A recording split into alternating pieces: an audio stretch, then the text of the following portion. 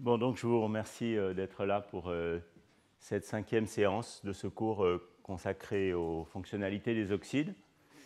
Alors en fait, dans le cours d'aujourd'hui, je pense qu'il va y avoir une bonne complémentarité entre le cours et le séminaire.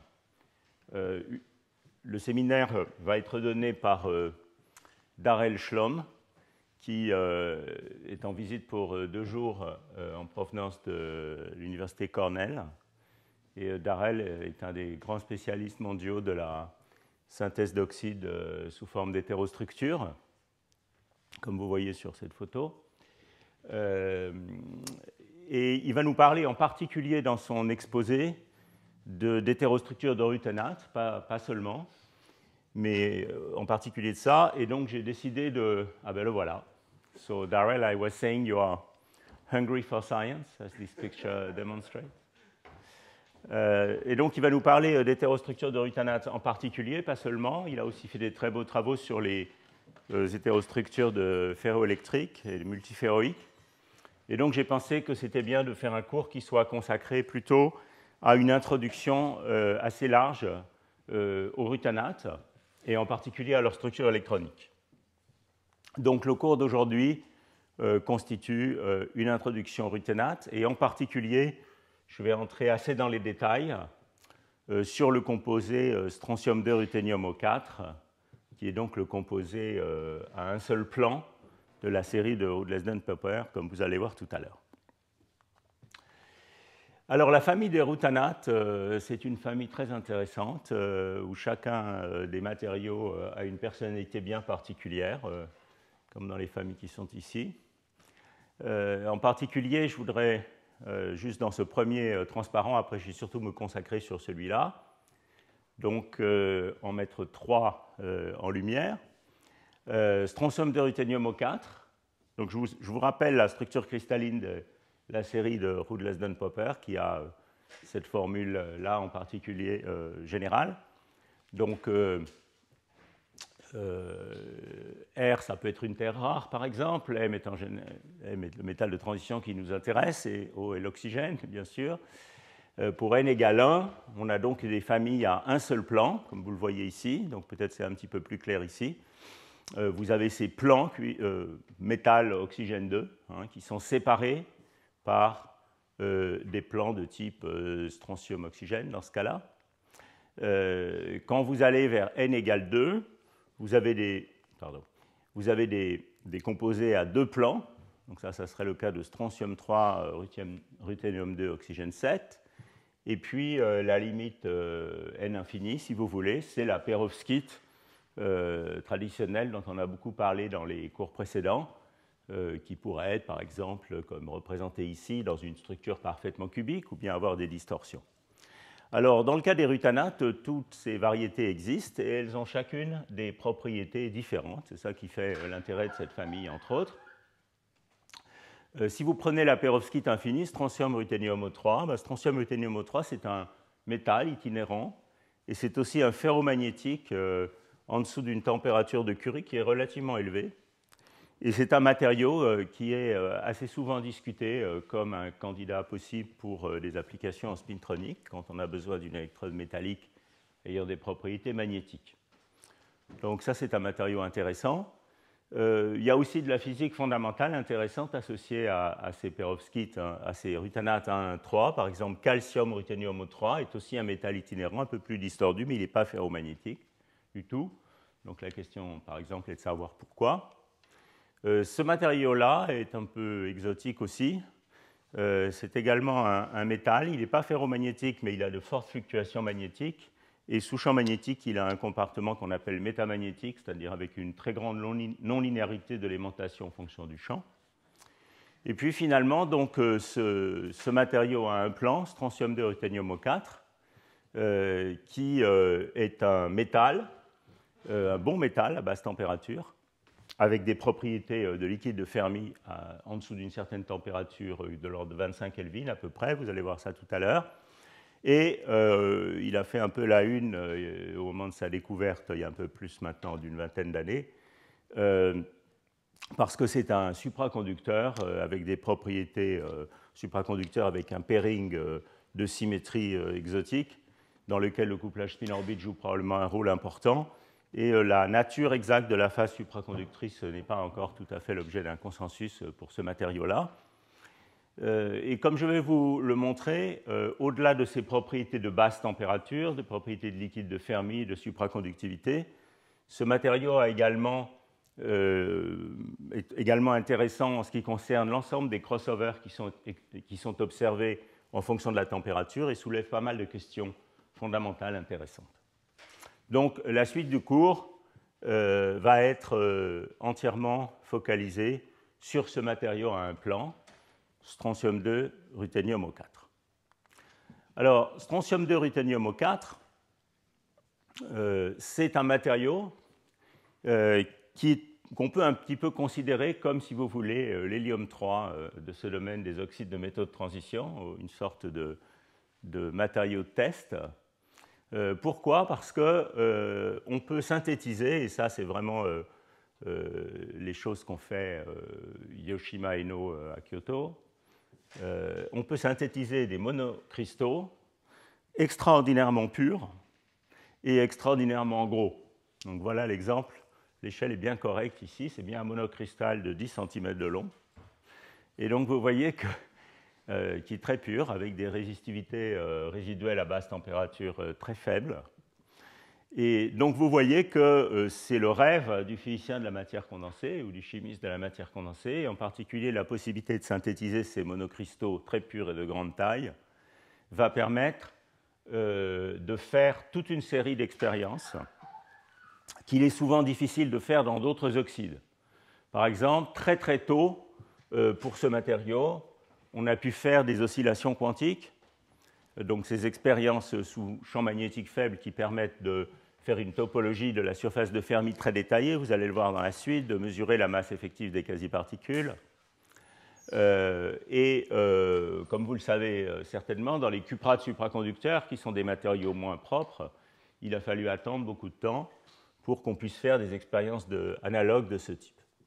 Donc on peut dire que euh, ce matériau a été regardé sous toutes les coutures avec pratiquement tous les outils expérimentaux, euh, spectroscopie, transport, euh, neutrons, tout ce que vous voulez, qui sont disponibles dans la boîte à outils de l'expérimentateur de la physique de la matière condensée.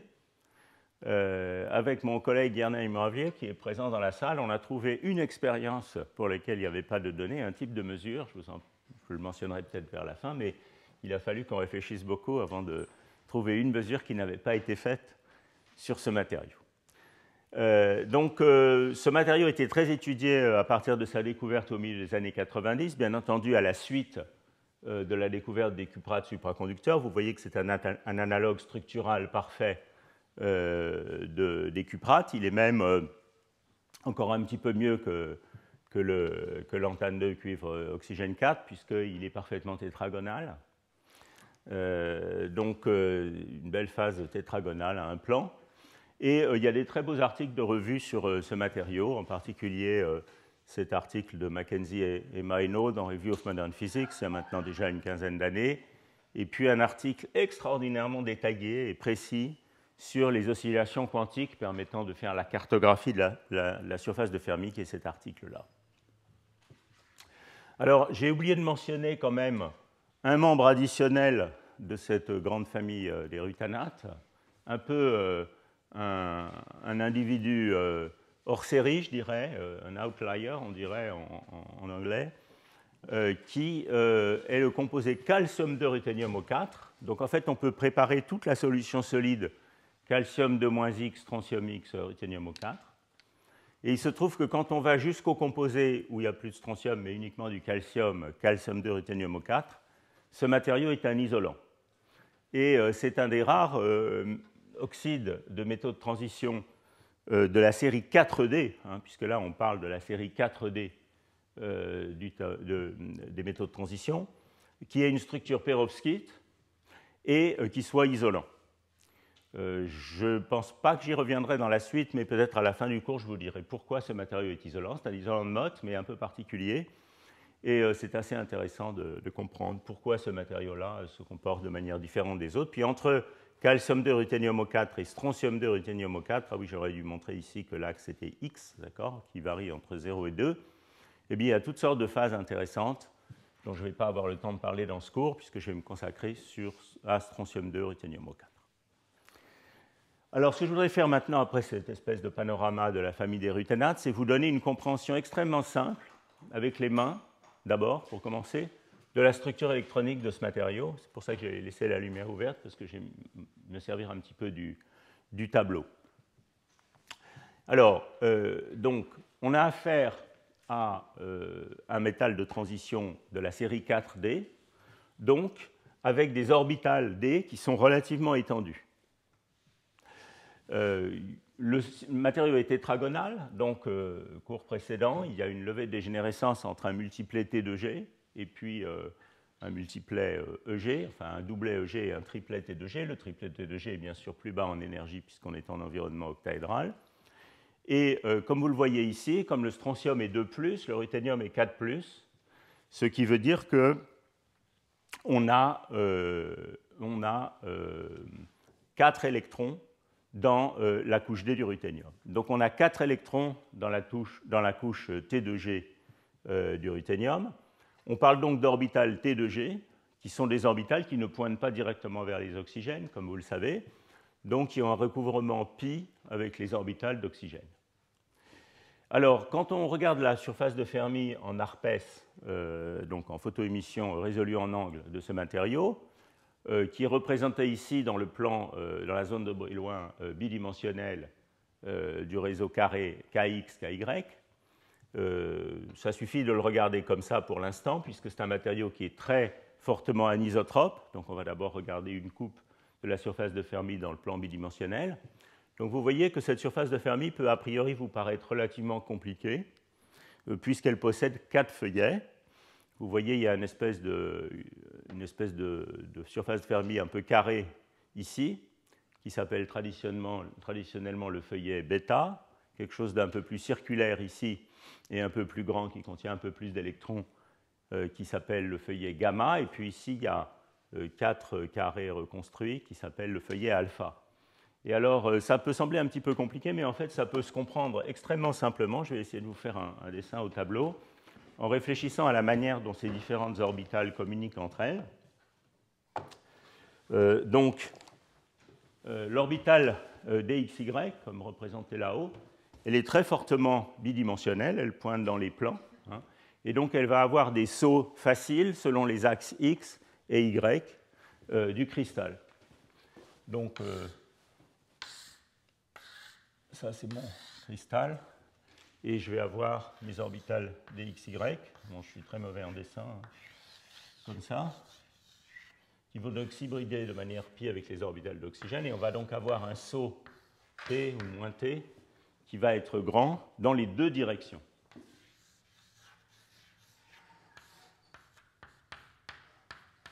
Et donc ça, en première approximation, ça va nous donner une surface de Fermi. Donc ici, je vais dessiner la zone de Brillouin bidimensionnelle, Kx, Ky, avec le point gamma ici, 0, 0. Et puis, moins pi sur A, pi sur A, moins pi sur A, pi sur A, c'est censé être un carré. Et donc vous voyez ici que cette euh, surface de Fermi va produire quelque chose qui va être en fait relativement circulaire, parce qu'il y a ici aussi, si je dessine la quatrième orbitale qui est là, il y a aussi ici, comme vous allez le voir tout à l'heure, un saut, moins T1, qui est relativement grand, qui lui est un recouvrement direct selon la diagonale entre ces orbitales. Donc tout ça va nous donner dans ce plan un feuillet, euh, une surface de Fermi, qui n'est pas tout à fait circulaire, mais, mais presque circulaire, disons, et qui est donc ce feuillet qu'on appelle gamma, qui est principalement dû aux orbitales DXY qui ont un très bon recouvrement dans les plans et donnent une bande bidimensionnelle avec une largeur de bande qui est assez grande. Elle est assez grande parce qu'on a affaire à des orbitales 4D qui sont assez étendues. Et donc, quand vous allez le voir dans le transparent suivant, la largeur de bande de l'orbitale DXY euh, est presque 4 électronvolts. Donc, c'est quelque chose qui est relativement grand.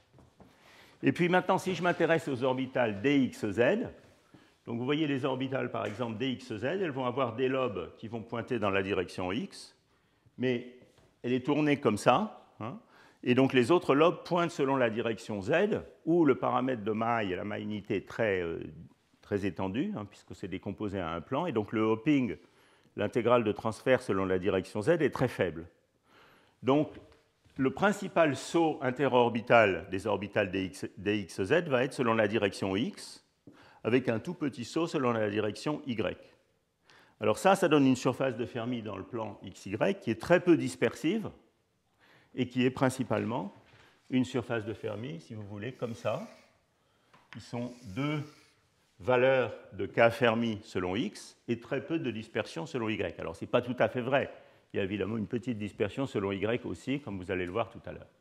Et puis même raisonnement pour les orbitales dy, z, qui cette fois sont principalement dans la direction y et vont donner une surface de Fermi comme ça. Alors ça, c'est ce qui se passerait si les dxz et les dyz n'avaient pas d'hybridation. En fait, à travers des sauts plus distants, il y a une petite hybridation. Et donc, il y a une, reconstruction de cette surface de Fermi ici au point d'intersection hein, en une surface presque carrée, comme ça, qui est à l'intérieur de la surface rouge. Donc maintenant j'efface ça, qui est donc le feuillet bêta, et puis des poches comme ça, disons de type plutôt trou, qui sont au coin de la zone de Brillouin et qui constituent le feuillet alpha. Donc vous voyez comment, avec euh, juste un tout petit peu d'intuition sur les recouvrements entre orbitales et leur euh, directionnalité, on peut assez facilement expliquer la forme de la surface de Fermi ici. Donc vous reconnaissez ici la surface de Fermi presque circulaire qui est due aux orbitales dxy, le feuillet gamma. À l'intérieur, cette surface de Fermi presque carrée qui va être une combinaison de xz et yz selon l'endroit où on regarde, dans point K. Et puis ici, les, les feuillets alpha est tout à fait similaire à ce qui est représenté ici. Alors, il faut signaler que l'établissement euh, fiable par Arpès de cette surface de Fermi est quelque chose qui euh, a pris pas mal de temps euh, après la découverte de ce matériau.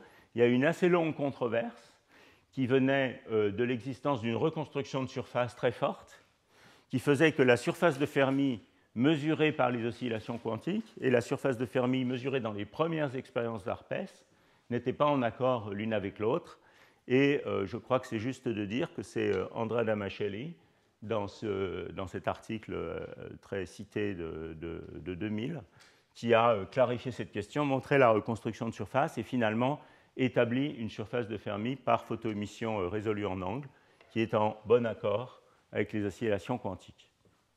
Alors, comme je vous le disais tout à l'heure, c'est un matériau dans lequel on peut faire des expériences, je dirais, de haute précision, et donc, en fait, cette surface de Fermi est connue dans ses grands détails. Et il y a très peu d'oxydes pour lesquels vous pouvez voir une image comme ça. Donc, j'espère que vous appréciez l'œuvre d'art. Euh, ça, c'est une reconstruction tridimensionnelle cette fois. Donc, vous reconnaissez KX, KY, avec le feuillet gamma en jaune, le feuillet central bêta au milieu un peu carré, et puis ces tubes alpha de cette manière-là. Vous voyez qu'il y a une dispersion selon Z, hein, une certaine ondulation selon Z, qui n'est pas nulle, qui est due au hopping selon Z, mais qui est faible. Et euh, cette reconstruction-là euh, provient des mesures d'oscillation quantique à basse température, en particulier menées dans l'équipe de Mackenzie euh, et collaborateurs années, à la fin des années 90. Voilà, donc une remarquable cartographie, je dirais, de la surface de Fermi, qui par la même occasion démontre l'existence euh, de bonnes euh, quasi-particules avec des durées de vie très longues qui se forment à basse température, puisque dans un matériau, pour pouvoir euh, observer ces oscillations quantiques, il faut que le libre parcours moyen soit grand pour qu'on ait le temps de faire des oscillations avant de, rencontrer une collision. Et donc voilà, par exemple, une des, mesures où vous voyez L'oscillation, ça doit être ici euh, de, l'aimantation, c'est du, du 2 As van Alphen euh, en fonction du champ magnétique. Vous voyez euh, ces magnifiques oscillations quantiques qui permettent de reconstituer cette surface de Fermi. Bon, alors je vais peut-être vous donner quelques éléments un tout petit peu plus précis. Donc, comme j'ai dit que c'était simple, ça doit vouloir dire qu'on peut représenter la dispersion des orbitales par un modèle de liaison forte très simple. On peut bien sûr faire des calculs de structure électronique, ça c'est un exemple ici, mais on peut aussi décrire ça un petit peu avec les mains par un modèle simple. Et c'est ce que je vais vous montrer ici. Donc là, j'ai représenté un peu mieux euh, les différentes euh, orbitales et leur hybridation pi avec les orbitales d'oxygène qui sont entre les deux. Je vais essayer de vous faire comprendre quelles sont les intégrales de transfert entre ces orbitales.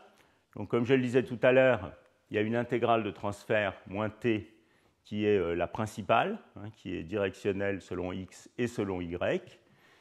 pour, si on cherche à paramétriser la surface de Fermi et les bandes la surface de Fermi euh, calculée, plus exactement les bandes d'énergie calculées par les méthodes de structure électronique par ce modèle de liaison, euh, de liaison forte, il va falloir mettre un hopping T, j'ai dû écrire ça quelque part, euh, voilà, qui est de l'ordre de 0,4 eV. Donc vous voyez quelque chose de, de relativement grand. Et puis, il y a aussi une intégrale de transfert direct T1 selon les diagonales. C'est pour ça que le feuillet gamma est relativement circulaire. Alors en fait, à la fois T et T1 sont positifs. Et en préparant ce cours, je me suis demandé pourquoi. Pour T1, c'est normal puisque c'est une intégrale de transfert direct. Donc, moins T1 est un élément de matrice d'interaction de Coulomb euh, qui est attractif. Donc, quand on a un transfert direct, T1 est toujours euh, positif. Mais ici, euh, le, hopping se, se, fait par les oxygènes. Et donc, euh, je vous vends cet argument ici, que j'ai tiré d'un article de Dana Hovas et collaborateurs, et qui, je pense, est un, argument juste, qui consiste à dire que si vous évaluez, comme on l'a vu dans un cours précédent, cette intégrale de, transfert au second ordre en théorie de perturbation dans l'intégrale directe entre les oxygènes et les cuivres, vous allez obtenir que moins t, c'est quelque chose qui est le produit de deux intégrales de transfert PD, divisé par un dénominateur d'énergie qui est le transfert de charge entre le ruthénium et l'oxygène. Et euh, vous voyez à cause du signe des lobes ici, hein, ici vous voyez que cette orbitale pointe vers le lobe rouge, ici vers le lobe bleu, les TPD en sont de signes opposés. Donc vous avez TPD fois moins TPD divisé par un dénominateur d'énergie qui est bien sûr positif, parce que les orbitales d'oxygène se trouvent à une énergie inférieure aux orbitales de ruthénium. Donc cette expression ici est négative et donc t est positif. Donc à la fois t et t1 sont des intégrales de transfert qui sont euh, toutes les deux euh, positives. Je mentionne ça parce que dans les cuprates supraconducteurs, où on a une structure de bande finalement relativement analogue, la physique du couplage du euh, transfert selon les diagonales, ce qu'on appelle en général T' dans le contexte des cuprates, est différente elle se fait par hybridation avec les orbitales 4s du cuivre et les, oxygènes apicaux, et le signe de T et T1 sont opposés. Voilà, mais donc dans ce contexte d'orbital T2G avec une liaison pi, c'est comme ça que ça marche. Et effectivement, pour euh, avoir un bon fit de la dispersion des bandes calculées en structure électronique, il faut mettre T et T1 positif, avec évidemment T1 euh, qui est à peu près un facteur 3 plus petit que T. Bon, alors on peut recommencer euh, cette analyse maintenant pour les orbitales XZ et YZ, et on trouve des choses comme ça.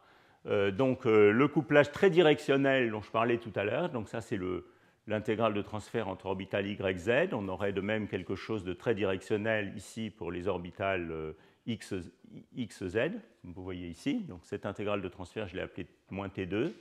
Et puis ici de nouveau, et puis ici évidemment, il y a aussi un petit couplage qui permet aux électrons dans l'orbital XZ de sauter selon la direction Y. Ce couplage existe, mais il est très faible.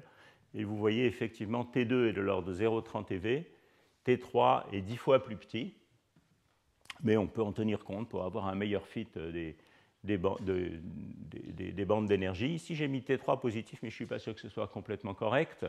En fonction de l'argument précédent, euh, il est possible que, euh, je, réserve ma réponse sur cette question. Euh, voilà. Euh, il y a aussi, et c'est euh, ce qui est responsable de la reconstruction des feuillets alpha et bêta au point de croisement ici, dont je parlais au début du cours, il y a aussi un couplage selon les diagonales qui lie les orbitales XZ et YZ entre elles. Et ce petit couplage a en fait un signe différent selon les deux diagonales. La raison étant que selon une des diagonales, c'est la composante paire de ces orbitales qui s'hybrident, et selon les antidiagonales, c'est la composante impaire. Et ça, ça induit un changement de signe selon les deux diagonales. Donc au final, si vous voulez un modèle de liaison forte pour ce système, qui décrit bien la structure de bande euh, calculée en LDA, eh bien vous aurez une bande qui est à peu près toute seule, qui a, je répète, un hopping T, un hopping T1 plus petit selon les diagonales, qui va être donc décrit par cette simple expression-là, et puis une matrice 2-2 pour les orbitales euh, XZ et YZ, euh, qui va avoir une composante diagonale qui est liée au couplage T2 et au petit couplage T3, et puis une composante off-diagonale qui est liée euh, au petit couplage T4. Donc voilà une description de liaison forte de la structure électronique de strontium de ruthénium au 4.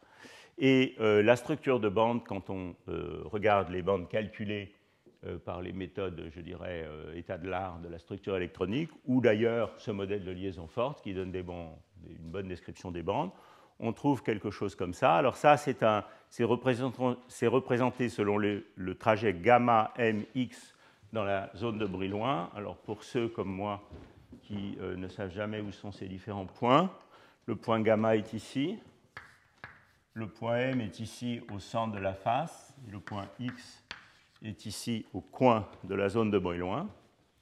Et donc vous voyez ici, on représente les choses selon le trajet euh, centre, milieu de la face, sommet, et puis on revient à gamma. Et donc ce que vous voyez ici, c'est une grande bande très dispersive qui est la bande XY, avec une largeur de bande qui est euh, presque 4 électronvolts, pas tout à fait, 3,7, quelque chose comme ça. Et puis vous avez deux bandes XZ et YZ qui euh, ont une largeur de bande qui est en gros deux fois plus petite. Pourquoi deux fois plus petite? Parce qu'il y a seulement des transferts selon une des directions. Hein, donc la largeur de bande est en gros deux fois plus faible que la largeur de bande des orbitales XY. Euh, vous observerez ici que, par exemple, les deux bandes qui sont principalement XZ et YZ sont exactement dégénérées dans ce calcul au point X. Et euh, ça, ça révèle en particulier que euh, ce, calcul est un calcul sans couplage spin-orbite. Vous allez voir dans la suite, à la fin du cours, l'effet du couplage spin-orbite sur cette structure de bande qui lève certaines dégénérescences. Alors, si vous regardez la densité d'état de ces différentes orbitales, donc ça, c'est la densité d'état projetée sur ces différentes orbitales, vous voyez ici une densité d'état qui est celle de l'orbitale XY qui est caractéristique d'une bande bidimensionnelle avec une singularité de Van Hove ici qui est très proche du niveau de Fermi. Ça va jouer un rôle dans la physique de ce matériau et puis une densité d'état XZ et YZ, où les singularités sont, elles, au bord de bande, et ça, c'est caractéristique d'une bande quasi unidimensionnelle. Donc vous voyez qu'on comprend facilement les choses avec les mains pour la structure électronique de, ce système. Bon, alors maintenant, je voudrais vous présenter euh, la principale question. J'aime bien qu'il y ait des, questions dans les cours euh, qu'on résout si possible avant la fin du cours. Et donc la, question principale que je voudrais poser, c'est la suivante. Euh, on a affaire ici à un oxyde de métal de transition qui est un, métal de transition de la série 4D, avec donc des orbitales qui sont relativement étendues, et on a vu des largeurs de bande qui peuvent être grandes, autour de 4 eV. Pour la même raison, parce qu'on a affaire à un métal de transition 4D, l'interaction de Coulomb écranté, le U de Hubbard, qu'on a vu plusieurs fois dans ce cours, va être relativement faible. En fait, on peut estimer euh, la valeur de ce U de Hubbard dans une description T2G appropriée pour ce système et on trouve une valeur qui est autour de 2,5 eV. Hein, donc on est dans un régime où le U de Hubbard est beaucoup plus, enfin, est plus petit, en gros d'un facteur 2, que la plus grande largeur de bande en présence dans le système. Donc a priori, on devrait s'attendre euh, si on réfléchit en termes de physique de Mott, par exemple, on devrait s'attendre à avoir un métal qui, soit, qui ait des effets de corrélation relativement faibles. Hein. Et en fait, ce n'est pas du tout ce qu'on observe dans les observations expérimentales. On observe au contraire un métal qui certes est un bon métal euh, par les standards des oxydes à basse température, mais qui a des signes de corrélation tout à fait évidents. Vous allez en voir plusieurs dans la suite. Par exemple, une susceptibilité magnétique qui, jusqu'à très basse température, ne suit pas une loi de Pauli, mais indique plutôt des moments magnétiques fluctuants, un peu de type Curie-Weiss. Ça, c'est une première chose. D'autre part, comme on peut faire les oscillations quantiques et des expériences de photoémission résolues en angle précises, on peut regarder ce qu'on appelle la masse effective des quasi-particules, ou, si vous voulez, la manière dont la vitesse de Fermi des différentes bandes d'énergie, telle que mesurée en ARPES ou mesurée par oscillation quantique, est changée par les interactions par rapport à un calcul de simple structure électronique. Et on trouve que ces renforcements de masse effective, je vais revenir un petit peu plus tard sur la définition de ce terme, euh, est grande.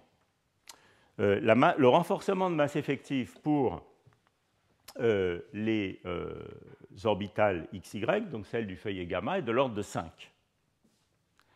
Et pour les orbitales XZ et YZ, il est de l'ordre de 3. Donc ça, ce sont des valeurs qui sont comparables à celles, par exemple, d'un fluide quantique fortement corrélé, comme l'hélium 3 sous pression. Donc je vous ai dit que strontium 2 ruthenium 4 c'était un peu l'hélium 3 des oxydes. effectivement, dans l'hélium 3 sous pression, qui est un gaz quantique, un liquide quantique avec de fortes interactions, la masse effective à basse température est de l'ordre de 6. Le renforcement de masse effective est de l'ordre de 6. Donc vous voyez, c'est très comparable. Et ça indique un liquide de Fermi avec de fortes corrélations électroniques. Donc la question, c'est comment est-ce qu'il est possible d'avoir un système avec des largeurs de bande grandes, des U relativement faibles, aucun signe que ce matériau est vraiment proche d'une transition de Mott, et néanmoins des, évidences que ce matériau est fortement corrélé, et c'est ça que je voudrais euh, aborder euh, dans au moins la première partie de la suite de ce cours. Alors, euh, je vais peut-être revenir un petit peu sur la notion de masse effective pour euh, ceux qui sont dans la salle et qui ne sont pas forcément tous familiers avec la, physique euh, à la physicienne, disons, des, matériaux fortement corrélés. Je sais qu'il y a un certain nombre d'étudiants chimistes dans la salle et masse effective, ce n'est peut-être pas quelque chose que vous voyez tous les jours. Donc, je vais essayer d'expliquer ça rapidement au tableau. Donc, ici, ce que vous voyez, c'est une expérience de photoémission résolue en angle, euh, qui est d'ailleurs extrait d'un séminaire que vous pouvez trouver sur, le site web, euh, sur mon site web du collège, qui a été donné en 2012 par Félix Baumberger, qui est un très bon expert de la photoémission résolue en angle, actuellement à l'Université de Genève, dans le cadre de mes cours du collège. Alors, je ne fais pas des cours sur la rutenate tous les ans, hein, euh, mais il se trouve qu'il y avait eu un, cours en 2012 sur ce sujet et euh, il nous avait montré ses expériences de photoémission. Alors, ce que vous voyez ici, c'est euh, en fonction de la quasi-impulsion de la zone de bruit loin, quand on parcourt euh, la direction gamma m, donc on part du centre de la zone de bruit loin, on va au centre de la face ici. Ce que vous voyez ici, c'est le signal de photoémission. Donc, il y a une partie du signal qui est très intense, qui est représentée en clair, ici et là. Et euh, ce signal de photoémission vous montre un pic qui traverse le niveau de Fermi, qui est ici, à certaines valeurs particulières de euh, gamma. alors je pense qu'il y a une erreur dans ce, euh, dans ce transparent, parce que si ça c'est gamma m, ça devrait être le feuillet bêta. Mais enfin, peu importe. Ce que vous voyez ici, c'est donc qu'il y a une quasi-particule qui traverse le niveau de Fermi. De l'autre côté du niveau de Fermi, on ne peut plus la voir puisque c'est de la photoémission, et donc on ne voit que les états occupés. Et vous voyez qu'on peut euh, regarder la vitesse de Fermi, puisque euh, la manière dont l'énergie varie en fonction de K-KF définit la vitesse de Fermi, et comparer cette vitesse de Fermi à celle qu'on obtiendrait par un calcul de structure de bande, qui sont ces lignes vertes. Et vous voyez clairement que euh, la vitesse de Fermi du feuillet gamma est beaucoup plus faible que ce qu'on prédirait par un calcul de structure électronique, et de même, la vitesse de Fermi du feuillet alpha est plus faible, c'est un peu moins le cas, mais un peu plus faible que celle qu'on euh, prédirait par un calcul de structure électronique. Donc voilà ici euh, une autre expérience euh, avec aussi Félix Baumberger qui montre cette, cette, dispersion. donc on peut extraire euh, euh, cette renormalisation de la vitesse de Fermi entre les calculs de structure électronique et la chose mesurée expérimentalement. Et c'est ça qu'on appelle le renforcement de masse effective. C'est l'inverse de VF star sur VF, qui est le renforcement de masse effective des quasi-particules. Les quasi-particules sont plus lourdes que celles que la, valeur que nous donnerait un calcul de structure de bande parce qu'il y a des interactions qui les empêchent euh, d'avancer aussi vite qu'on pourrait le penser. On peut aussi extraire cette quantité à partir des mesures d'oscillation quantique. Et au miracle, dans ce matériau, ces deux déterminations donnent des valeurs qui sont assez bien compatibles. Donc c'est vraiment une quantité qu'on connaît. Et ce que vous voyez ici, c'est le renforcement de masse effective mesuré, euh, cette fois je pense euh, par oscillation quantique, pour les feuillets alpha, bêta et gamma. Et vous voyez que c'est de l'ordre de 3 pour les feuillets alpha et bêta, et c'est de l'ordre de 5 pour les feuillets gamma. Donc il n'y a pas de doute que ce matériau a des signes de forte corrélation à basse énergie. Et une des questions, c'est pourquoi. Alors il y a une autre observation qui est assez intrigante, c'est que vous voyez que le feuillet gamma, qui correspond à la largeur de bande la plus grande, qui est de l'ordre de 4 électronvolts, est aussi celui, pour lequel l'énergie cinétique est, grande, est aussi celui pour lequel le renforcement de masse effective est le plus grand. Alors ça, c'est assez étonnant parce que vous pourriez vous attendre à ce que euh, ce soit le feuillet avec la largeur de bande la plus faible qui est le renforcement de masse effective le plus grand. Mais c'est l'inverse qui se passe, et ça, c'est aussi une question. Alors, euh, je vais continuer un petit peu à vous intriguer sur cet ensemble de ruthénium 4 Tout ce que j'ai montré jusqu'à maintenant, c'est vraiment la structure des quasi-particules de basse énergie, principalement euh, donc, dans le régime où il y a des bonnes quasi-particules, dans le régime de liquide de Fermi. Mais on peut aussi regarder ce qui se passe quand on augmente la température du système et comment ces quasi-particules euh, deviennent progressivement de plus en plus incohérentes et qu'est-ce qui se passe dans ce matériau. Alors en fait, dans ce matériau, il y a des crossovers en fonction de la température qui sont tout à fait intéressants et c'est quelque chose que vous voyez par exemple en transport. Euh, donc dans cette expérience ici, c'est une mesure de la résistivité en fonction de la température euh, sur une très large gamme de, températures, vous voyez jusqu'à euh, presque plus de 1000 Kelvin. Et ce que vous voyez ici, c'est qu'il y a la résistivité d'abord reste métallique sur l'ensemble, dans le sens où d rho dt est positif, la résistivité croît avec la, la température, sur l'ensemble de cette gamme de températures. Là, c'est la première observation.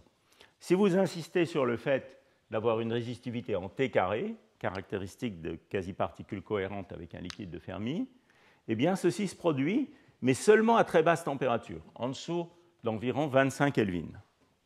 Donc vous voyez que l'échelle caractéristique de cohérence de ces quasi-particules, où la théorie de Landau du liquide de Fermi devient valable, est quelque chose qui est deux ordres de grandeur plus petit que euh, la largeur de bande. Plus de deux ordres de grandeur plus petit, 25 Kelvin par rapport à 40 000 Kelvin. Donc c'est quelque chose d'absolument euh, de, tout petit. Il y, a, une énorme normalisation entre les électroniques naïves et la température de cohérence du liquide de Fermi. Et assez rapidement, au-dessus de 25 ou 30 Kelvin, la résistivité cesse d'être en T mais le libre parcours moyen reste grand dans ce système, jusqu'à des températures qui sont plutôt de l'ordre de 500 K. Donc vous voyez qu'il y a toute une gamme de températures, environ une décade, où on a une résistivité qui n'est pas en T2 et où il y a euh, un libre parcours moyen qui est néanmoins relativement grand et où d'ailleurs des expériences de photoémission révèlent encore la présence d'un pic de quasi-particules dans la photoémission. Donc on continue à avoir des quasi-particules qui n'ont pas vraiment euh, le temps de vie donné par la théorie de Landau, mais qui sont relativement cohérentes. Et puis c'est seulement quand on arrive autour de 600 K que ce liquide de Fermi devient, que ces quasi-particules sont complètement détruites. Et si vous faisiez une estimation du libre parcours moyen en appliquant un simple critère de Drude dans ce régime, vous retrouveriez un libre parcours moyen qui deviendrait comparable à la maille du réseau, ou plus petit que la maille du réseau, au-dessus de 500 K. Et ça, c'est ce qu'on appelle le critère de Motioff-Regel.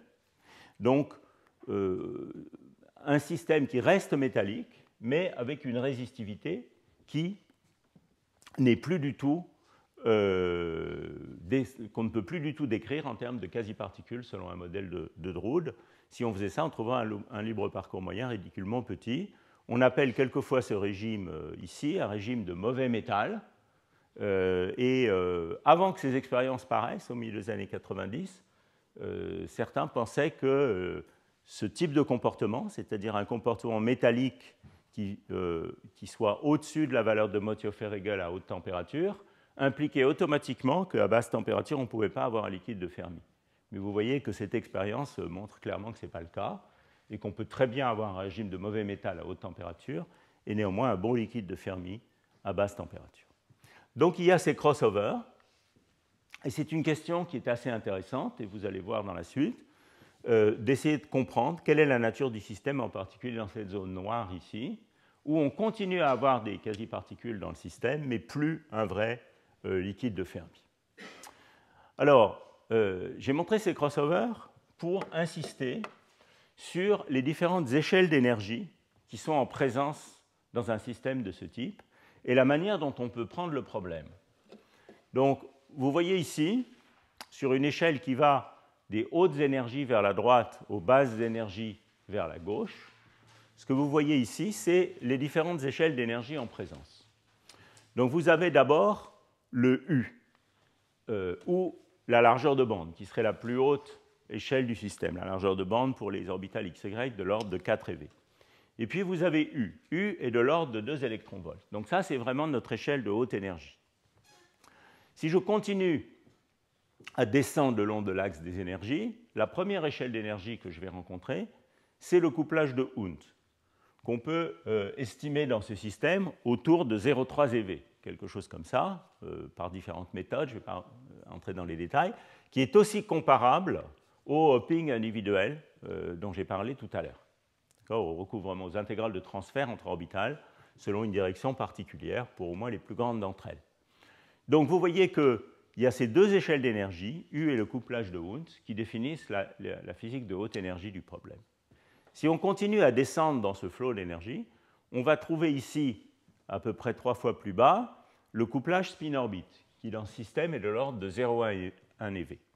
Et puis finalement, à très très basse température, on va trouver l'échelle caractéristique de formation des quasi-particules de Landau, où, euh, où tout est en euh, le temps de vie, l'inverse du temps de vie est en oméga 2, etc. Et on va trouver que on voit, d'après les manips de transport, que cette échelle d'énergie est de l'ordre de 25 Kelvin.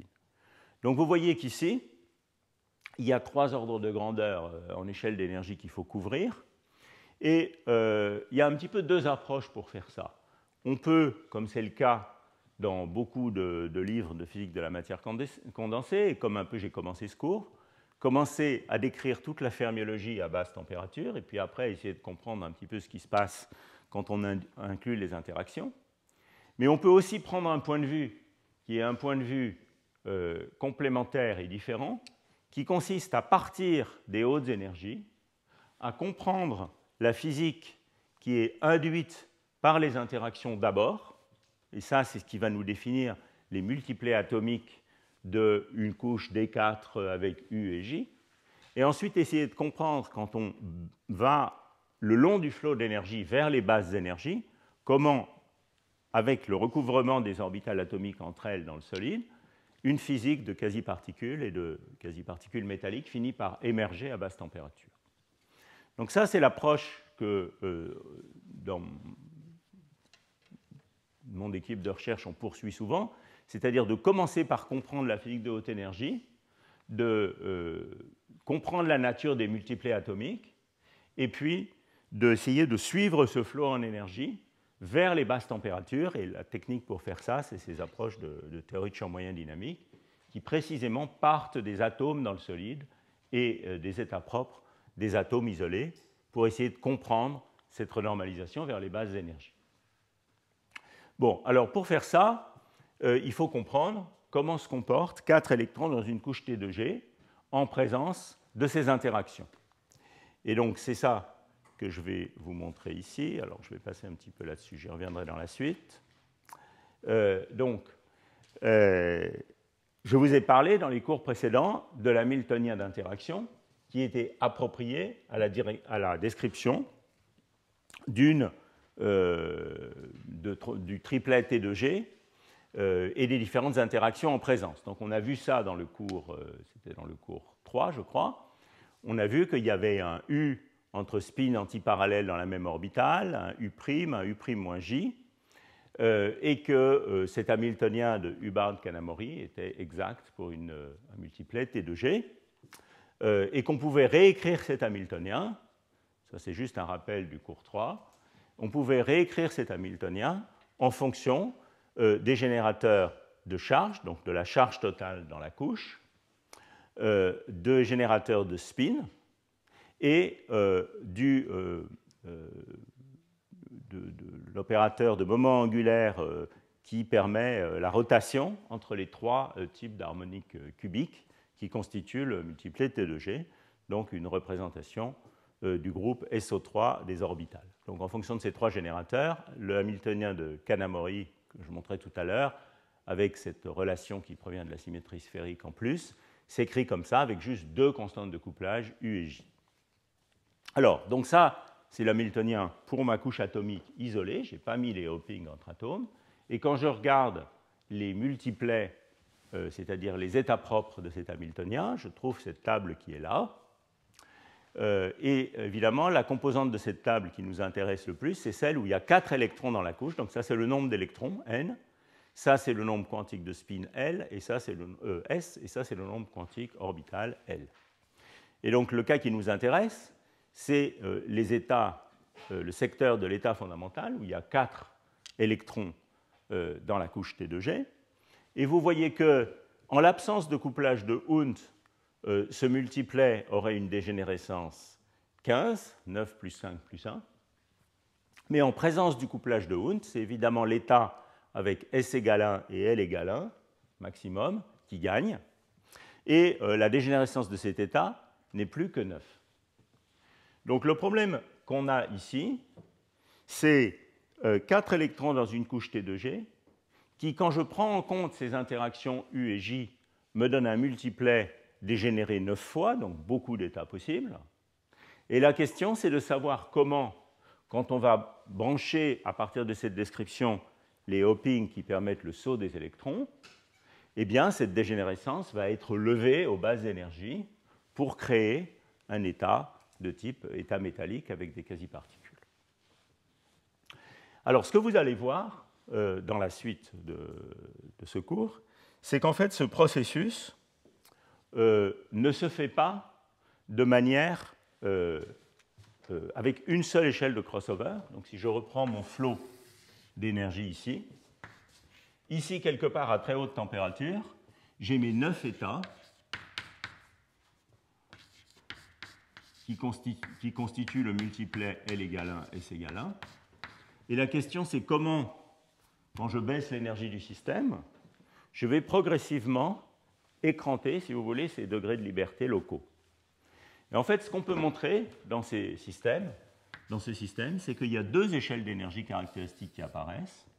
Une première échelle d'énergie qui est associée à l'écrantage ou à la suppression des degrés de liberté orbitaux, qui est très grande, qu'on peut estimer dans ce matériau comme étant en gros quelque chose comme 1000 K, donc à peu près la température, même un peu plus haut que la température où on entre dans le régime de mauvais métal. Et puis ici, une température caractéristique où ce sont les degrés de liberté de spin qui finissent par ne plus fluctuer. Et cette température est beaucoup plus faible. Elle est proche de la température, disons, de liquide de Fermi ou un peu supérieure. Donc comment est-ce qu'on peut voir ça expérimentalement? Ici, évidemment, on va avoir une susceptibilité magnétique de type poly. Mais ici, comme on va avoir des spins qui fluctuent,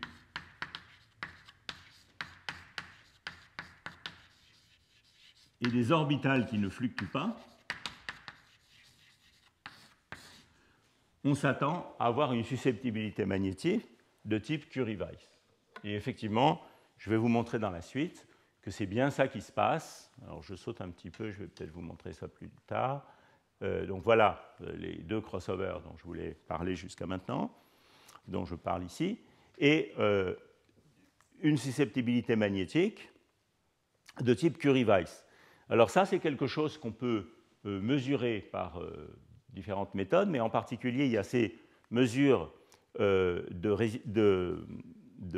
résonance magnétique nucléaire qui, en regardant différents noyaux du système, avec, en tenant compte des différents couplages hyper fins, permettent même de remonter aux différentes composantes orbitales qui contribuent à la susceptibilité magnétique.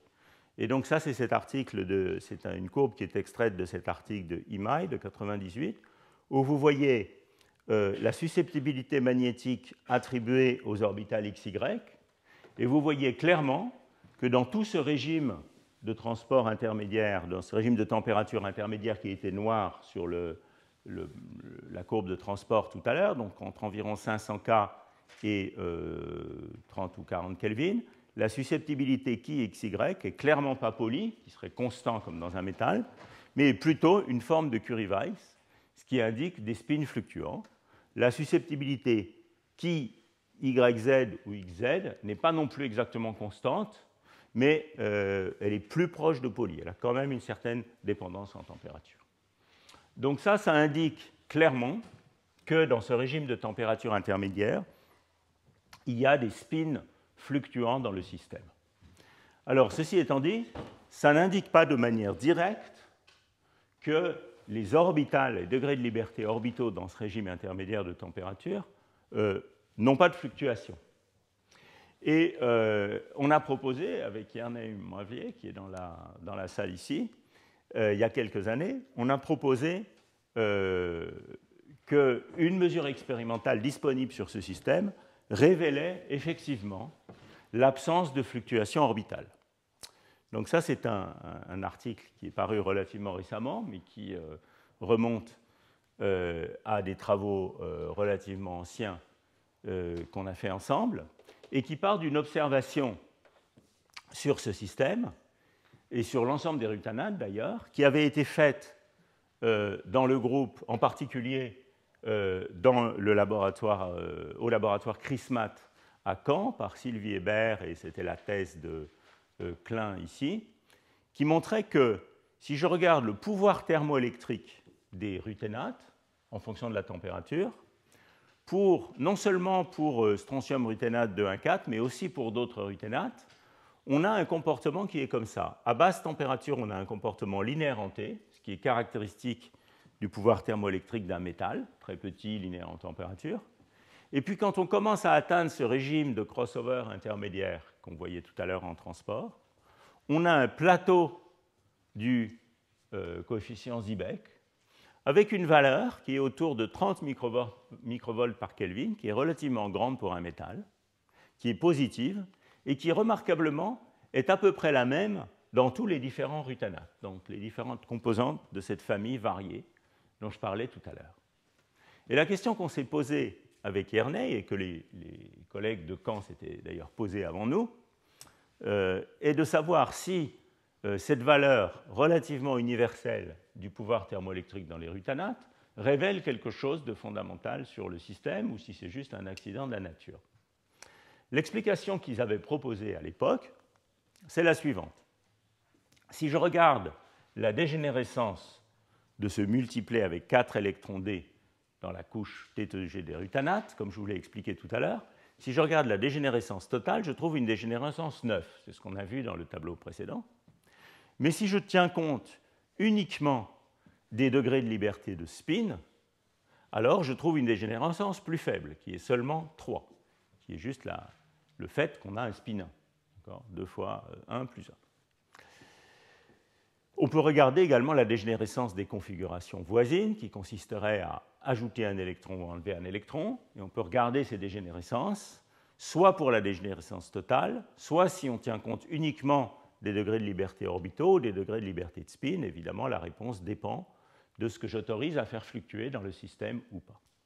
Alors, il se trouve que le coefficient Zibek, alors ça je ne vais pas euh, vous expliquer en détail la physique du coefficient Zibek euh, parce que j'y ai consacré euh, deux années de cours dans les années précédentes, mais il se trouve, juste pour résumer le point, que ce coefficient Zibek, au moins pour des systèmes qui sont relativement localisés, donc plutôt pour des isolants, peut être relié aux dégénérescences de ces configurations.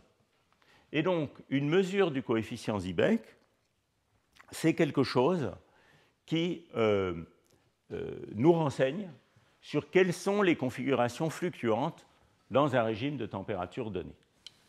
Alors, si vous faites une estimation euh, en utilisant ce qu'on appelle la formule de Heikes, peu importe les détails, si vous faites une estimation de ce coefficient Zibek en supposant que dans ce régime, les spins et les orbitales fluctuent ensemble, vous trouvez une valeur du coefficient Zibek qui est moins 17 microvolts par Kelvin, donc complètement en désaccord avec les résultats expérimentaux, négatifs. En revanche, si vous faites l'hypothèse, une hypothèse qui avait été faite par euh, le groupe de Caen, que seuls les degrés de liberté de spin fluctuent et que les degrés de liberté orbitaux ne fluctuent pas, vous trouvez une valeur qui, par une simple estimation tenant compte de ces dégénérescences ici, 2, 3 et 4, eh bien, vous trouvez ici une valeur qui est tout simplement donnée par cette expression et qui est en très bon accord, au moins qualitativement, avec euh, la valeur du coefficient Zibek mesuré expérimentalement. Donc le message qui est là, c'est qu'effectivement, en combinant les observations euh, de euh, la résonance magnétique nucléaire qui nous donne les différentes contributions orbitales à la susceptibilité et du pouvoir thermoélectrique, on peut se convaincre du fait que dans ce régime intermédiaire de température, on a effectivement des spins qui fluctuent, mais des orbitales qui ne fluctuent pas. Alors comment est-ce qu'on peut expliquer ça? Comment est-ce qu'on peut expliquer cette séparation entre les deux échelles d'énergie caractéristiques pour les spins et les orbitales? Alors ça, c'est euh, également une assez longue histoire qui euh, vient justement du fait que c'est le couplage de Hund qui est responsable de la physique de ces systèmes. Euh, donc, vous avez vu dans l'Hamiltonien d'interaction, donc je vais essayer de résumer brièvement cette histoire parce que le temps passe. Euh, vous avez vu que dans la Miltonienne d'interaction, le couplage de Hund jouait un rôle crucial. C'est lui qui levait la dégénérescence de 15 à 9. Et euh, on a vu également au cours 3 que ce couplage de Hund avait un rôle très important pour comprendre quelle était, la valeur critique de U ou de la largeur de bande nécessaire pour obtenir un isolant de Mott. Donc, je vous rappelle brièvement l'argument. C'est un argument qu'on a vu au cours 3 on a vu qu'en présence d'un couplage de Hund, euh, si on faisait une simple estimation des énergies de transfert de charge pour changer la valence de n, n à n plus 1, n plus 1, n-1, eh bien on voyait que euh, dans le cas d'une couche demi-pleine, le couplage de Hund baissait très fortement la valeur critique de l'interaction, alors que dans le cas d'une couche qui n'était pas demi-pleine, le couplage de Hund avait tendance au contraire à augmenter la valeur du U critique. Donc ça, c'était un aspect du couplage de Hund qu'on a vu au cours 3, qui éloigne la transition de Mott en la poussant, pour une couche non demi-pleine, à des valeurs de U critique très grandes. En fait, c'est la raison pour laquelle ces ruténates ne sont pas proches d'une transition de Mott. C'est une couche qui n'est pas demi-pleine, et euh, le, le, critère de la transition de Mott que vous pouvez euh, estimé à partir de ces simples estimations qui sont ici, eh bien, nous donnerait une valeur de U critique beaucoup, beaucoup plus grande que 3 électronvolts. Donc, pouvez-vous vous convaincre de cette manière que, effectivement, ces matériaux ne sont pas proches d'une transition de mode? Alors, s'ils ne sont pas proches d'une transition de mode, comme je posais la question au début du cours, pourquoi ont-ils ces signes de forte corrélation? Alors, ça, c'est parce que euh, cette histoire-là, ce n'est qu'un visage du couplage de Hund. Il y a en fait un deuxième aspect et ce deuxième aspect, il est résumé sur ce transparent, euh, qui est un, graphe extrait euh, d'un article de revue qu'on a écrit avec euh, Luca de Medici, qui vient d'entrer dans la salle, et, et, qui vous montre la renormalisation de masse effective. Alors ce Z ici peut être interprété comme le poids spectral des quasi-particules ou comme M sur M étoile, donc l'inverse de la renormalisation de masse effective en fonction de U pour différents couplages de Hund. Dans le cas d'une couche T2G avec 4 électrons, comme approprié pour les ruténates. Alors, si vous regardez cette représentation, ce que vous voyez, c'est que quand il n'y a pas de couplage de Hund, donc J égale 0, on a une masse effective qui augmente, qui va finir par devenir très grande et diverger au point de transition de Mott ici, qui est le point noir. Quand vous branchez le couplage de Hund, ce qui se passe, c'est que, comme je l'expliquais tout à l'heure, la valeur critique de U est considérablement augmentée. Donc elle va être ici à des valeurs très grandes et irréalistes pour ce matériau de, euh, U. Mais en même temps, la renormalisation de masse effective augmente ou le Z diminue quand on augmente le couplage de Hund. Donc il y a deux effets du couplage de Hund. Un effet qui est de pousser la transition de Mott jusqu'à des très grandes valeurs de U, et un effet qui est dans la phase métallique de donner une augmentation de la masse effective des quasi-particules, qui est euh, une augmentation rapide au fur et à mesure qu'on augmente le couplage de Hund J. Alors en fait, on peut résumer tout ça, si vous voulez, en disant que, alors ça c'est un peu amusé dans cet article, euh, on peut résumer tout ça en disant que le couplage de Hund, il a deux visages. Il a un visage qui pousse euh, la transition de Mott à des grandes valeurs, donc il va avoir tendance à euh, éloigner le système de la zone de transition de Mott, mais il a un autre visage qui a tendance à corréler les quasi-particules, à donner des quasi-particules lourdes. Et c'est pour ça que dans ce système, on n'est pas près d'une transition de Mott, mais on a des quasi-particules qui sont des quasi-particules lourdes et des fortes corrélations électroniques. Euh, dans cet article de revue, on a résumé tout ça dans une sorte de, diagramme de phase, enfin ce n'est pas vraiment un diagramme de phase, mais plutôt une sorte de cartographie, dans lequel, alors je vais passer quelques minutes à expliquer cette cartographie, parce qu'elle est un petit peu euh, assez riche, donc euh, ça demande un peu d'explication. Donc ce qu'on a représenté ici, dans cette carte, c'est le remplissage graduel de la couche D, de la couche T de G, depuis euh, une couche T de G complètement vide, 0 électrons, jusqu'à une couche T de G complètement pleine, donc au maximum 6 électrons. Donc ça, c'est l'axe des X. Selon l'axe des ordonnées ici, vous avez la valeur de U normalisée à la demi-largeur de bande du système, qu'on a appelée ici D, et euh, les barres noires ici vous indiquent la valeur de U sur D qui correspond à l'isolant de Mott. Donc vous voyez euh, le premier aspect du couplage de Hund, qui est que pour une couche demi-pleine, c'est-à-dire 3 électrons dans une couche T de G, eh bien c'est très facile de faire euh, un isolant de Mott, le U critique est très faible, alors que pour des couches non demi-pleines, eh le U critique sur D est beaucoup plus grand. Les croix ici sont les valeurs que vous obtiendriez euh, en absence du couplage de Hund. Donc vous voyez comment le couplage de Hund est efficace pour baisser le U critique ici, et au contraire ici pour éloigner le U critique de la zone de couplage faible. Donc ça, c'est la première observation. C'est le premier, premier, visage, si vous voulez. C'est la manière dont le couplage de Hund change la transition de mode. Le deuxième visage, il est donné par le code de couleur de cette courbe. Une couleur bleue intense, ça veut dire des quasi-particules très faiblement renormalisées par rapport euh, euh, à, l'absence d'interaction, euh, donc une masse effective de l'ordre de 1, de l'ordre de la masse de bande. Peut-être on aurait dû choisir un code de couleur inverse, où ce soit la couleur claire qui représente ça, mais enfin peu importe. Et en revanche, une couleur très blanche, ça représente une très forte renormalisation de la masse effective. Et donc ce que vous voyez ici, c'est que si vous avez une couche demi-pleine, eh bien, les métaux fortement corrélés, qui auraient une masse effective importante, c'est forcément des métaux qui sont proches de la transition de Mott ici. En revanche, si vous avez une couche non demi-pleine, comme occupée par 4 électrons dans le cas des ruténates, vous avez une très large zone ici, qui a des renforcements de masse effective très grandes, donc des quasi-particules palotes, d'accord? Euh, et euh, néanmoins, vous pouvez être très loin de la transition de mode. Donc toute cette zone claire ici, c'est ce qu'on pourrait appeler, et c'est ce que Christian Aulé et Gabi Kotliar ont appelé, euh, des métaux de Hund. Ce sont des métaux qui sont corrélés, non pas en raison de leur proximité d'une transition de mode, mais à cause de l'abaissement de l'échelle de, cohérence des quasi-particules par le couplage de Hund.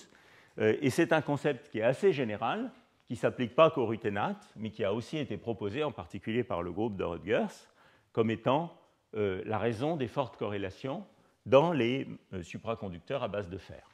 donc les tinctures de fer, les calcogénures de fer, etc. Euh, donc ça, c'est la, deuxième observation. vous voyez sur cette carte les deux visages du problème et cette zone claire qui est la zone des métaux de Hund. Et la troisième chose qu'on a essayé de montrer sur cette, sur cette, carte, alors il faut prendre ça avec un grain de sel, parce qu'évidemment cette carte, elle ne prend pas en compte certains aspects essentiels, comme les levées de dégénérescence du champ cristallin euh, du multiplet T2G dont j'ai parlé dans d'autres cours. ce qu'on a placé sur cette carte, c'est différents matériaux de la série des métaux de transition 3D et de la série des métaux de transition 4D.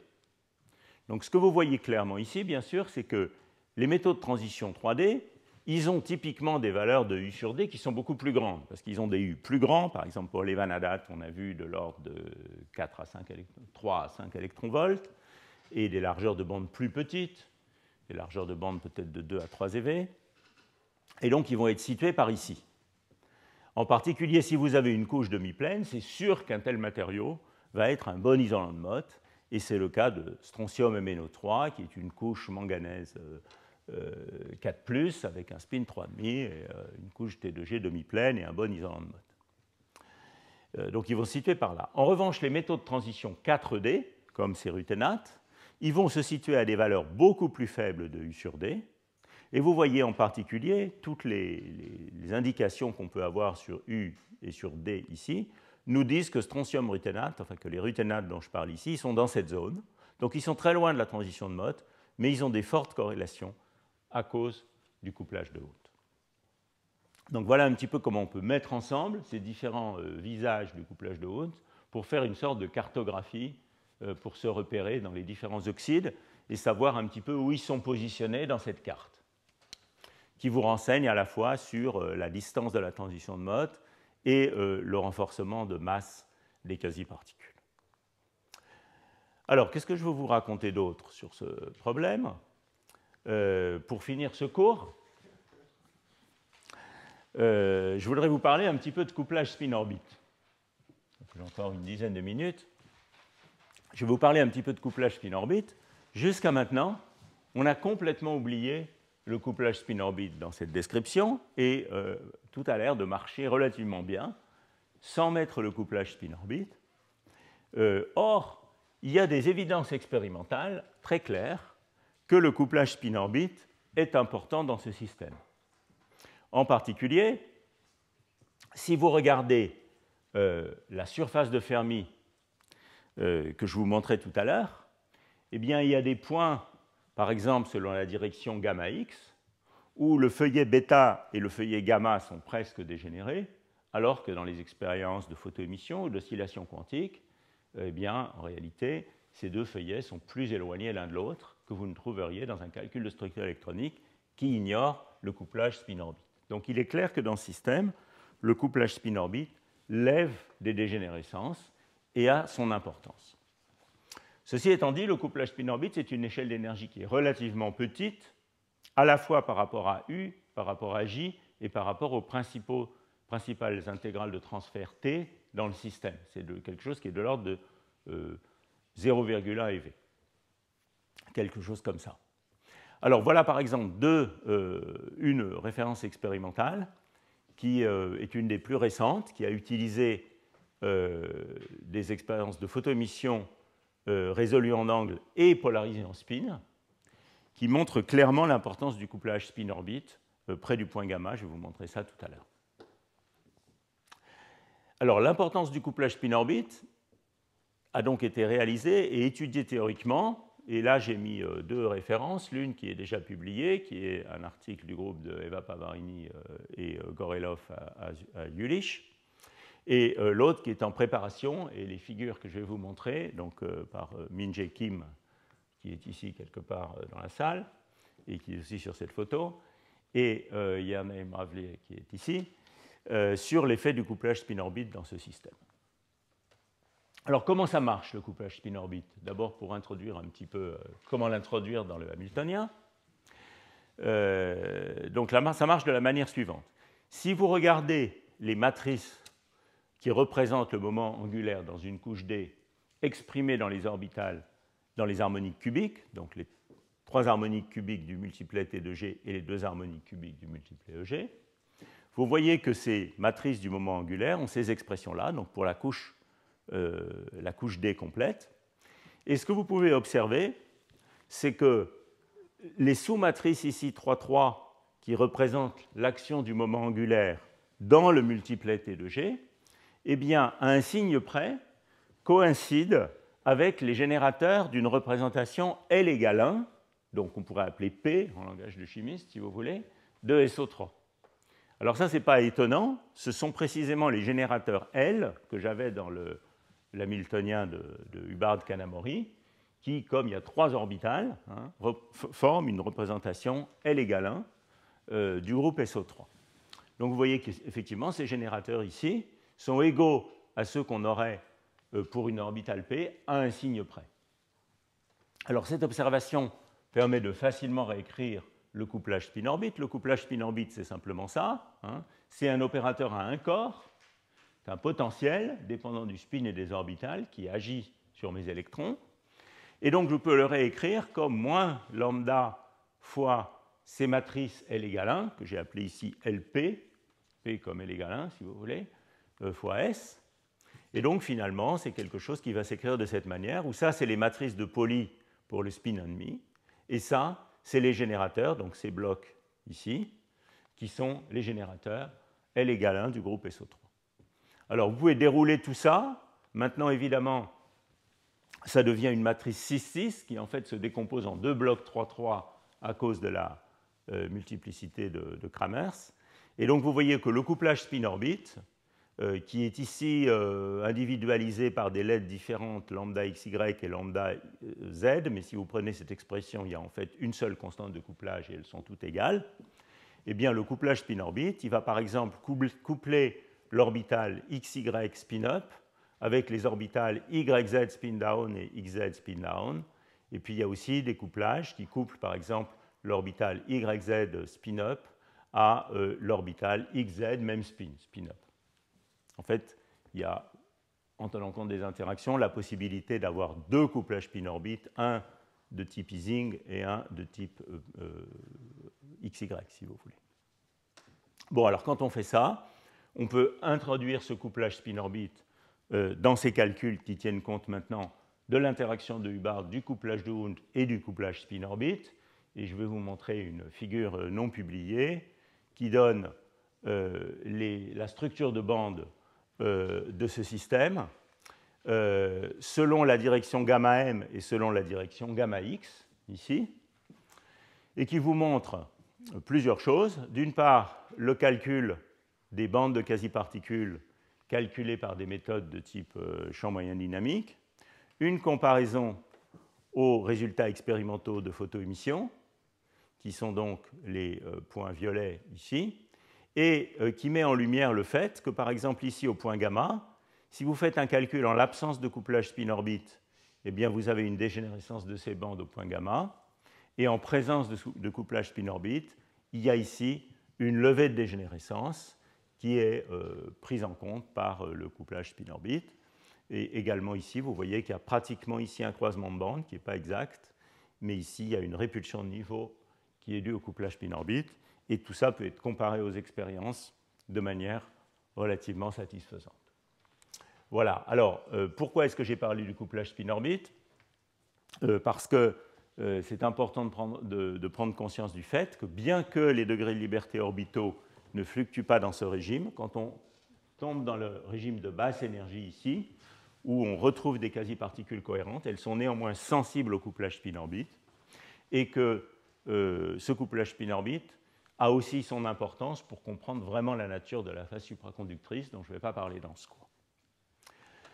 je vais passer là-dessus. Pareil pour la surface de Fermi. Euh, vous pouvez voir qu'il y a ici cette levée de dégénérescence selon la direction gamma x.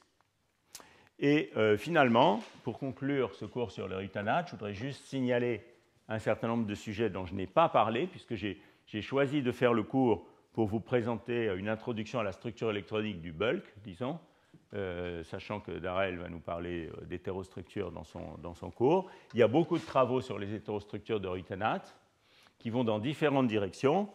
je pense qu'on va en entendre parler tout à l'heure dans le séminaire. L'une de ces directions, c'est le contrôle du ferromagnétisme, par exemple, dans les rutanates 1-1-3. Et euh, une des choses que je trouve assez remarquable et surprenante euh, dans ce type de travaux, c'est qu'on peut apparemment stabiliser strontium rutanate 1-1-3 en film mince jusqu'à des monolayers, euh, m'a dit Darrell hier, dans cet article on dit deux couches, mais apparemment même pour une seule couche, tout en gardant le système métallique. Ce qui est tout à fait remarquable, puisque comme vous avez vu dans le premier cours, euh, dans beaucoup, beaucoup de systèmes, quand on tombe en dessous de 3, 4 ou 5 couches atomiques, on a des isolants. C'est le cas par exemple dans LNO et dans SVO, dans beaucoup de systèmes. Dans ce cas-là, au contraire, on peut garder un système métallique et magnétique, ce qui est euh, relativement remarquable. Voilà, bon, je vous remercie. Et euh, on prend une pause d'un quart d'heure. On va commencer à 11h35, disons, avec le séminaire de, Tarel.